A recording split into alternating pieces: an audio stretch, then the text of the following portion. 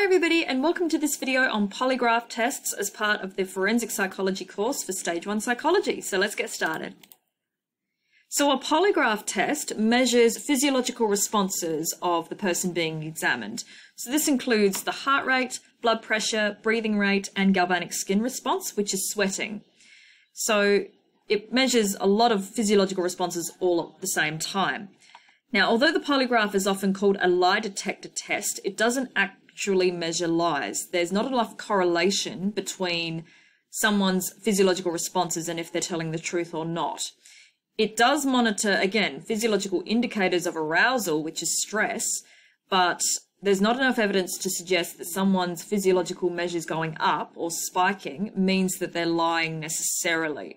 So in class, we've obviously talked about the validity and reliability of polygraph tests. I'll cover it in this video as well. But in Australia, it's not actually seen to be a lie detector measure in terms of validity, but it does, however, measure physiological responses. So it definitely has its place in psychology, but to conclude that it detects lies, it's not scientifically valid enough.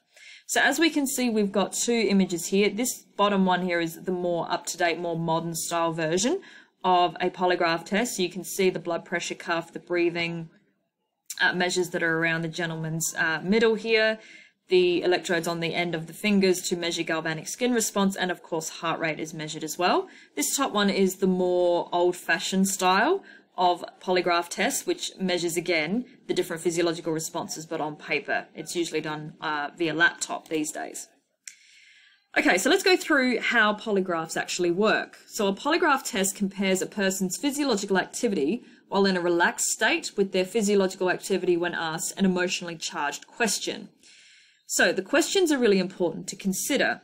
First, there are control questions that are asked. So control questions are used to establish a baseline physiological response, which can be used for comparison purposes. So control questions are routine and non-emotional, such as what is your name, what's the date today, um, things like that. So things that are very obvious in their answer. So the reason why control questions are asked is to get baseline data and to obviously compare that to the relevant questions, which are more emotionally charged. And the assumption is, is that if the physiological responses go higher on the relevant questions in comparison to the control questions, that someone may be lying. So speaking of relevant questions, those are uh, relevant questions are those to which relate to an investigation or an issue. So during the test, relevant questions are mixed with control questions. The control questions are again usually strung together as though they are a part of small talk. So again, what's your name, what's the day today, etc. And then relevant questions are unexpectedly presented to the person being tested. So again, if physiological responses are weaker on the control questions, it's inferred that the person is lying. That's the whole premise of people calling this a lie detector test.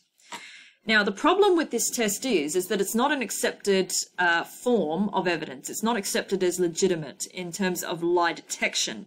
There's several reasons for this. So one of the limitations is that guilt and anxiety show very similar physiological responses. So it may not be that a person is lying necessarily, they may just be very nervous and the wording of the questions themselves may be enough to trigger anxiety rather than them being guilty of anything.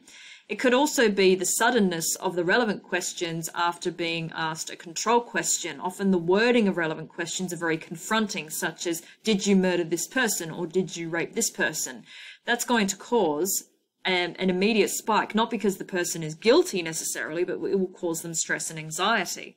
So it may read that they're lying when they're in fact just nervous.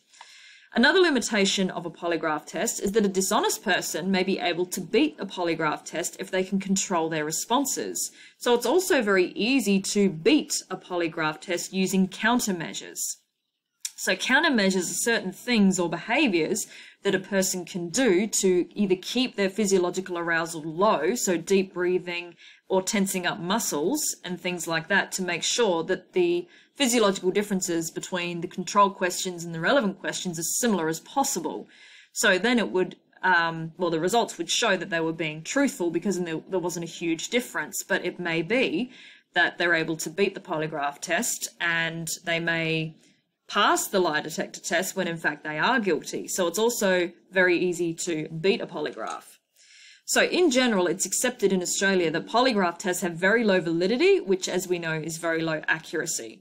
So, criminals have been able to beat the polygraph machine before by purposefully creating highly emotional responses again to the control question. So, this means that their polygraph reading just shows their normal level of arousal is higher than usual. So, it's actually extremely easy to beat one, but it's also very easy to wrongly convict someone if their physiological levels go up in the relevant questions. It doesn't mean they're lying, it just means they may be nervous. And there may be other factors going on as well. It could be, again, different substances in the body, a naturally higher resting heart rate, and a lot of other extraneous variables as well.